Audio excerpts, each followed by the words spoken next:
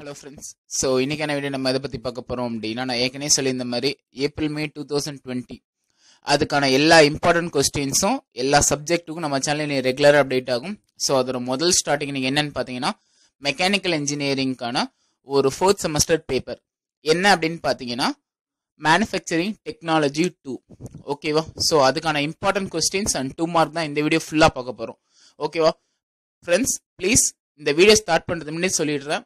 இந்த வீடியோ ஃபுல்லாக பாருங்கள் வெறும் கொஸ்டின்ஸையோ இமேஜையும் மட்டும் பார்த்தீங்கன்னா நான் எப்படி பாஸ் ஆகணும்னு ஒரு ட்ரிக்கும் சொல்லித்தரேன். ஸோ அதை மிஸ் பண்ணிடுவீங்க. இன்னொன்று என்னோட ஒரு ஹம்பிள் ரிக்வஸ்ட் இந்த வீடியோவை உங்களோட எல்லா மெக்கானிக்கல் ஃப்ரெண்ட்ஸுக்கும் ப்ளீஸ் ஷேர் பண்ணுங்கள் ஓகேவா ஏன் அப்படின்னா போன டைம் இந்த எம்டி டூ நிறைய பேர் அரியர் வச்சுருந்தாங்க. ஏன் அது அப்படின்னு பார்த்தீங்கன்னா நிறைய டைம் செம்மா கேட்டிருந்தாங்க. ஸோ ப்ளீஸ் உங்கள் ஃப்ரெண்ட்ஸ் எல்லாருக்குமே ஃபார்வர்ட் பண்ணுங்கள் எந்த டிபார்ட்மெண்ட் ஆனாலும் சரி கண்டிப்பாக உங்கள் ஃப்ரெண்ட்ஸ் மெக்கானிக்கல் பர்சனல் கண்டிப்பாக ஷேர் பண்ணுங்க. ஓகேவா கண்டிப்பா இதே மாதிரி நம்ம சேனல் அடுத்து சிஎஸ்சி இசி ஐடி ஸோ எல்லா டிபார்ட்மெண்ட்டுங்க கொஸ்டின் நீ ரெகுலராக அப்டேட் ஆகும். ஸோ இன்னைக்கு ஒரு ஸ்டார்டிங் பாயிண்ட் தான். ஸோ உங்கள் ஃப்ரெண்ட்ஸ் எல்லாருக்கும் ஷேர் பண்ணுங்க. ஓகேவா சரி ஓகே இன்னைக்கு ஃபர்ஸ்ட் என்ன பார்க்க போறோம் அப்படின்னா எம்டி டூ இந்த எம்டி டூ பொறுத்த அளவுக்கு ரெகுலேஷன் தேர்ட்டீன் அண்ட் செவன்டீன் இது ரெண்டுக்கும் கம்பைன் கொஸ்டின் தான் நான் கொடுத்துருக்கேன். ஏன் கம்பைன் கொஸ்டின் கொடுத்துருக்கேன் அப்படின்னா ரெண்டுக்குமே சிலபஸ் பெரிய அளவுக்கு டிவேட் ஆகல. ஜஸ்ட் ஒரு ரெண்டு கண்டென்ட் எடுத்திருக்காங்க ரெண்டு கண்டென்ட் ஆட் பண்ணியிருக்காங்க யூனிட் வைஸ் எந்த சேஞ்சுமே கிடையாது. ஓகேவா ஜென்ரலாக எம்டி டூ பொறுத்த அளவுக்கு என்ன ப்ரோ பாஸ் பண்ண டிப்ஸ் அப்படின்னு பார்த்தீங்கன்னா டயக்ராம் ஒன்று தான் இம்பார்ட்டன்ட் ஓகேவா நீங்கள் டயக்ராம் போட்டுட்டு அது என்ன அந்த பிரின்சிபல் அப்படின்னு தெரிஞ்சுக்கிட்டாவே ஈஸியாக நீங்கள் கிளியர் பண்ணிடலாம். ஸோ அது தெரிஞ்சாவே நீங்கள் ஈஸியாக கிளியர் பண்ணிடலாம். அஞ்சு யூனிட்டுக்கு நான் இம்பார்ட்டன்ட் கொஸ்டின் கொடுத்துருக்கேன். ப்ளீஸ் எதையுமே ஸ்கிப் பண்ணாதீங்க. நான் ஏன் இவ்வளோ கொஸ்டின் நீங்கள் நிறைய பேர் கேட்கலாம் என்ன ப்ரோ டைட்டிலே கொடுத்துருக்கீங்க. உள்ள டைப் நிறைய இருக்கே ப்ரோ அப்படின்னு. நிறைய இருக்க தான் செய்யும். ஏன் அப்படின்னா ஒன்ஸ் உங்களுக்கு சம்மு கேட்டுட்டாங்கன்னா பேலன்ஸ் இருக்க ஒரு ஹாஃப் உங்க நீங்க கண்டிப்பா எழுதணும்.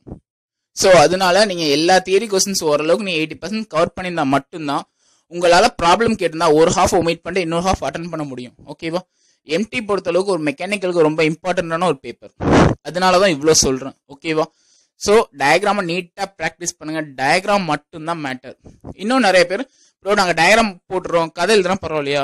அதை பற்றின கதை எழுதுனா பிரச்சனையே கிடையாது. எம்டி டூவை பொறுத்த அளவுக்கு நீங்கள் தனியாலாம் தேடி கதை அவசியம் கிடையாது. அங்கே என்ன நடக்குது? ஒரு கட்டிங் ப்ராசஸ்னா அது எப்படி கட் பண்ணுது? மெட்டல் எப்படி ரிமூவ் பண்ணுது? அதில் என்னென்ன பார்ட்ஸ் இருக்குது ஒவ்வொரு பார்ட் எப்படி ஒர்க் ஆகும்? இதான் உங்கள் ஸ்டாஃப்ட்டை நீங்கள் தெரிஞ்சுக்கிட்டாலே போதுமானது. உங்களுக்கு நெட்டில் சோர்ஸ் இருக்குது ஸ்லைட் ஷேர் இருக்குது அனிமேஷன்ஸ் இருக்குது ஸோ கொஞ்சம் கொஞ்சம் கூகுளையும் யூஸ் பண்ணிக்கோங்க. ஓகேவா ரொம்ப ஈஸியான பேப்பர் தான்.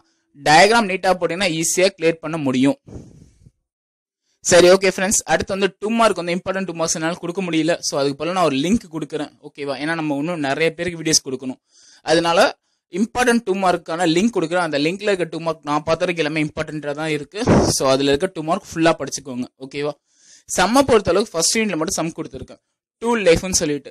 இன்கேஸ் நீங்கள் ஃபியூச்சரில் கேட் எக்ஸாம் ப்ரிப்பேர் பண்ணீங்கனாலும் கண்டிப்பாக அதுக்கும் யூஸ்ஃபுல்லான ஒரு கண்டென்ட் தான் இந்த டூல் லைஃப் ஸோ அதை பேஸ் பண்ண சம் பாருங்க. அதுக்கு சிம்பிளாக ஃபார்முலா தான் இருக்கும். ஸோ திருப்பி திருப்பி ஒரே ஃபார்மில் மாற்றி மாற்றி போட்டு தான் கண்டுபிடிக்கிற மாதிரி இருக்கும். ரொம்ப ஈஸியாக இருக்கும். ஏன் அப்படின்னா உங்களுக்கு சம்டைம்ஸ் அது ஒரு ஆறு மார்க்ஸ் நம்ம கூட கேட்குறாங்க உங்கள் லக் இருந்தால் ஸோ ரிட்டன் அதே தான் ஃப்ரெண்ட்ஸ் சொல்கிறேன் எம்டி டூவை பொறுத்தளவுக்கு diagram is the most then அடுத்து எல்லாம் கேட்டது எப்படி ப்ரோ பேப்பர் எழுதணும்?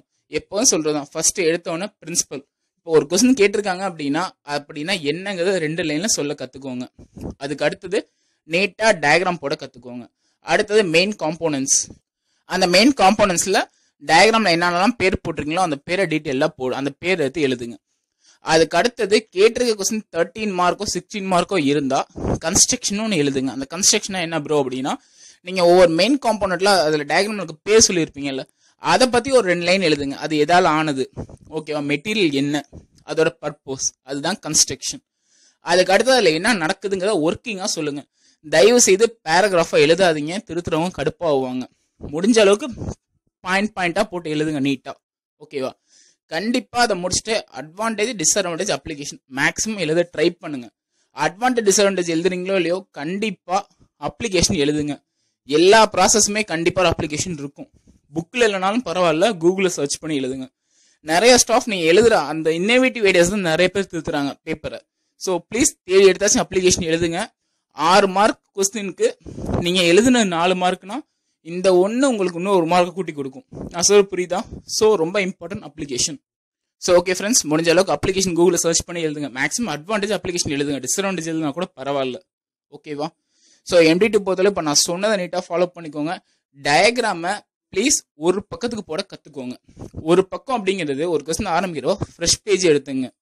அதில் கொஸ்டினோட டாபிக் எழுதுவீங்க. பிரின்சிபல் எழுதுவீங்க. டயக்ராம் அந்த பேஜ் ஃபுல்லாக டயக்ராம் வர மாதிரி நீட்டாக போடுங்க. நிறைய பேர் கேட்டிருந்தீங்க ப்ரோ ஹரிசாண்டலில் வெர்டிக்கல் போடலாமான்னு.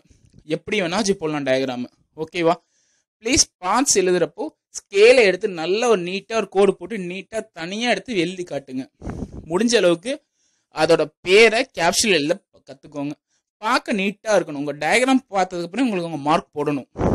ஸோ அதுக்கு தகுந்த மாதிரி ready ஆகிக்கோங்க friends all the best so இனி திருப்பியும் சொல்கிறேன் நிறைய பேர் கேட்பீங்க என்ன ப்ரோ என்ன ப்ரோ மெக்கானிக்கல் மட்டும் கொஸ்டின் கொடுக்குறீங்கன்னு.